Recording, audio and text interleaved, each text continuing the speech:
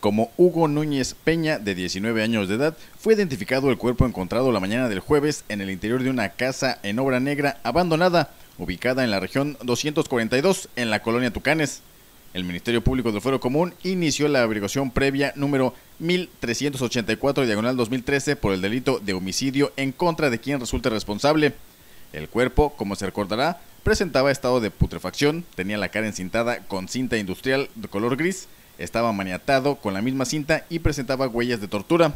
El hoyo oxiso falleció la noche de lunes a causa de una hemorragia interna y externa ocasionada por las 31 heridas punzocortantes que recibió en distintas partes del cuerpo. En otro orden de ideas, la Policía Judicial del Estado informó que José de la Cruz García Tique, alias El Sopi y O Tique,